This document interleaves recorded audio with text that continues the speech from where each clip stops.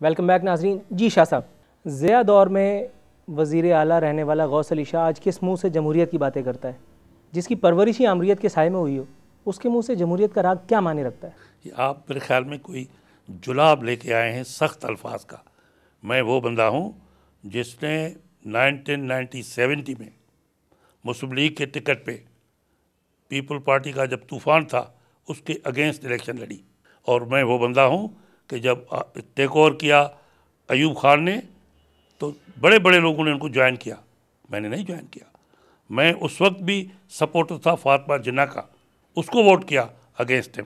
تو میرا ساری زندگی جمہوریت کے ساتھ رہی ہے۔ کوئی ایسا پاکستان میں لیڈر نہیں ہے۔ نائنٹین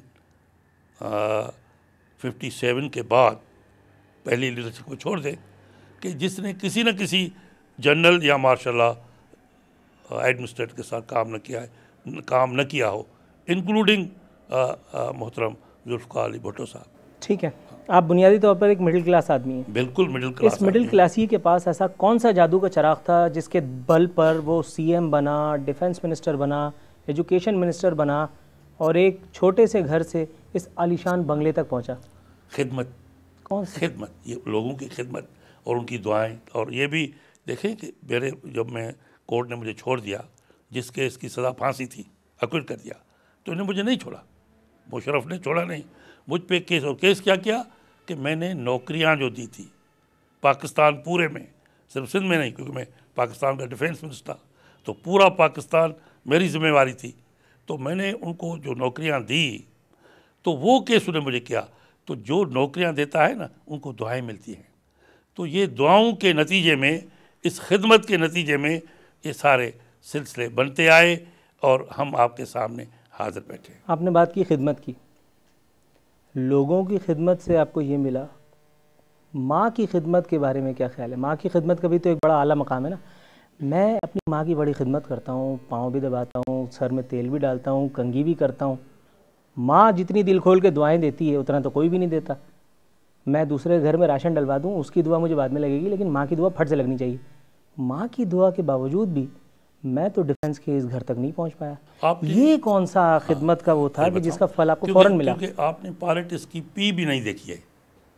مطلب پالیٹکس میں ہی خدمت کا اجر ملتا ہے۔ مطلب ایک ذریعے ہیں۔ خدمت کے طریقے ہیں راستے ہیں۔ ٹھیک۔ کیونکہ آپ پالیٹکس کا ذریعہ آپ نے نہیں اختیار کیا میں نے وہ کیا۔ یہ پہلی پہلی جو الیکشنز ہوئی تو میں ففٹی میں نے میں ففٹی سیون میں وکیل بنا۔ ففٹی ایٹ یا ففٹی نائن میں الیکشنز ہوئی چھوٹی سی۔ تو میں نے وہ کنٹیسٹ کی میں الیکٹ ہو گیا اور میں ایک یونین کاؤنسل کا چیئرمین بن گیا۔ تو وہ چیئرمینی بھی چلائی اس میں بھی لوگوں کی خدمت کی۔ تو ماں کی دعاؤں کے ساتھ ساتھ عوام الناس کی دعائیں۔ ساری جو مل جاتی ہیں تو پھر انسان کو کہاں سے کہاں پہنچا دیتی ہیں۔ ٹھیک ہے۔ یہ کرم ہے مالک کا اور میرے پاس سر یہ آپ کے آپ کے آئیڈیل جنرل مشرف کی ایک کتاب پڑھی ہوئی ہے۔ جی۔ اس کا پیج نمبر ایک سو اکسٹھ جی وہی کہانی سناتا ہے جو اپنے الفاظ میں آپ نے بیان کی، لیکن میں کہتا ہوں، دوبارہ پڑھ دیتا ہوں۔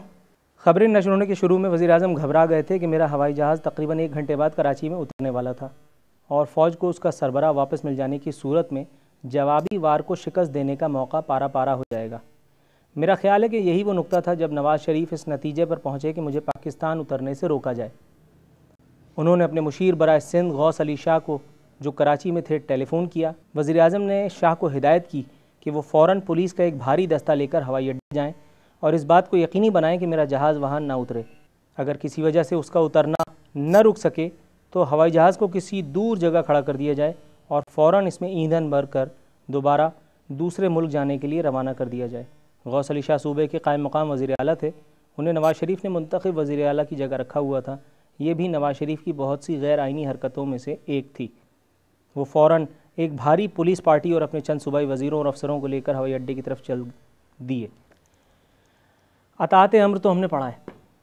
ایسی بھی کیا اطاعت ایسی بھی کیا خوش آمد کہ جو نواز شریف صاحب کہیں آپ کرنے چلتے ہیں وہ کہیں کنویں میں کود جائیں تو کیا آپ کود جائیں گے؟ یہ تو ساری غلط بات ہے۔ ریفرنس میں نے آپ کے سامنے دیا۔ لیک- لیکن اس کا لکھنا کوئی صحیح تو نہیں ہے نا۔ ٹھیک ہے آپ ڈینائل انہیں غلط لکھا آپ۔ ڈینائی کر ہاں، یہ انہیں غلط باتیں لکھی ہیں۔ اس دن آپ کہاں تھے جب یہ سب ہو رہا تھا؟ میں چیف ہاؤس میں تھا۔ آپ کو اس طرح کا کوئی ٹیلی فون نہیں آیا تھا؟ مجھے ٹیلی فون میاں صاحب نے کہا تھا۔ کیا کہہ رہے تھے؟ مجھے اس نے یہ کہا تھا کہ یہاں پر کور کمانڈر تھا عثمانی صاحب۔ جی جی۔ میں نے اس کو بھی فون کیا ہے۔ وہ بھی ایئرپورٹ پہ جا رہے ہیں اور آپ بھی میرے طرف سے ایئرپورٹ پہ جائیں۔ اور پرویز مشرف صاحب جب وہاں اتریں تو بڑے پرتپاک کے ساتھ اس کو ریسیو کر کے اس کو یہ کنوے کریں کہ یہ جو ایکشن میں نے اٹھایا ہے کیونکہ میں نے بڑی کوشش کی کہ میں آپ کے ساتھ کام کر سکوں، لیکن وہ پاسبل نہیں ہوا۔ لیکن اس کے بیانڈ اور کوئی بات نہیں ہے۔ اور آپ اس کو دیکھیں کہ he should reach his home in safe custody کوئی انٹورڈ انسیڈنٹ نہ ہو۔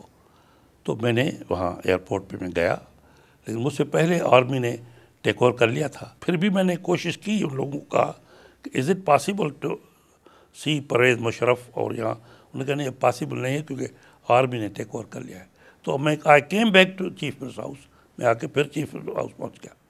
بائی دا ٹائم میں نے پتہ لگایا تو Mian Nawaz Sharif was already taken into custody جب تک یہ مزاج تبدیل نہیں ہوگا جیسا آرمی کی آپ بات کر رہے ہیں نا، کہ they should accept the civilian rule کیونکہ پہلے بھی تو اس سے پہلے بھی چیف آف آرمی اسٹاف تھا نا، جن کا جنرل جہانگیر کرامت نام تھا۔ ہی ایکسیپٹیڈ کہ نہیں آپ کو حق ہے ملک چلانے کا میں چھوڑ دیتا ہوں۔ انہوں نے آپ کا کہا انہوں نے آپ کا کہا مان کر کے استعفیٰ دے دیا اس لیے وہ اچھے۔ لیکن جنرل مشرف نے آپ کا کیا تسلیم نہ کر کے ریسیپروکیٹ کر دیا وہ غلط ہے نا وہ غلط ہے۔ جنرل مشرف کون سی جنرل مشرف کون سی ملک دشمن سرگرمیوں میں ملوث تھے میں یہ جاننا چاہتا ہوں کہ جو ان کو ہٹا کر کے اس ملک کی بقا کو یقینی بنانے کا پورا اختیار تھا۔ نواز شریف صاحب یہ پاورز جو ہوتے ہیں یہ ایکسرسائز کرنے کے لیے ہوتے ہیں۔ یہ پرائم منسٹر کا اختیار ہے کہ he can remove chief of army staff اگر وہ کسی وجہ سے؟ کوئی بھی وجہ وہ دے دے۔ اگر ذاتی پسند ناپسند کو وجہ بنا کر کے اگر کیا جائے۔ میری بات سنیں۔ وہ جو بھی اس کے ریموول کا آرڈر ہوگا وہ رائٹنگ میں ہوگا نا وہ لکھا جائے گا نا۔ تو وہ جو لکھا ہوا آرڈر ہے اگر کوئی آدمی ایگریوڈ ہے سمجھتا ہے کہ یہ صحیح نہیں ہے تو کورٹس ہیں۔ He will challenge it in the court of law یہ تو نہیں ہے کہ آپ آرڈر نہ مانیں اور کہیں کہ اچھا بھائی، یہ تو آپ ایسی بات کریں کہ ایک چوکی دار کو ہم نے، میں نے نوکری دے دی، میرے دروازے پہ کھڑا ہے۔ اور میں اس کو کہتا ہوں کہ آج نوکری آپ کی ختم، اب میں دوسرا چوکی دار رکھتا ہوں تو میرے اوپر وہ بندوق اٹھا کے چلا جائے، کھڑا ہو جائے کہ نہیں، میں تو یہاں رہوں گا۔ وہ چوکی دار ملک کا چیف آف آرمی اسٹاف تھا اور یہ ملک کا وہی اعلیٰ ترین عہدہ تھا کہ جس کے سائے میں کبھی آپ کی پرورش ہوئی تھی، سیاسی پرورش۔ جنرل ضیاء بھی تو چیف آف آرمی اسٹاف تھے نا؟ اس کو سلوٹ کرنا اور اس سے اتنا بغض پال کے رکھنا۔ آپ وہاں اس کو چوکی دار کا درجہ دے رہے ہیں۔ میری بات سنیں۔ پوری جو آرمی ہے جی جی۔ جو آرمی ہے وہ پاکستان کی چوکی دار ہے۔ اس ملک کی محافظ ہے۔ اس کو ملک کی بارڈرز کی چوکی داری کرنی ہے کہ کوئی اس ملک کو نقصان نہ دے۔ یہ چوکی دار لفظ کو یہ کام صرف اندرونی طور پہ کرتے ہیں نہیں تو بات سنیں نا۔ جی جی۔ تو یہ یہ سویلین جو حکومت ہے جس کو کیونکہ یہ جو ملک ہے نا، اس اس، یہ ڈیموکریسی کیا ہے؟ ڈیموکریسی یہ ہے government of the people by the people for the people ٹھیک ہے، آپ کا نقطہ میں ضرور لوں گا، لیکن ایک وقفے کے بعد، ناظرین، بریک کے بعد ملتے ہیں۔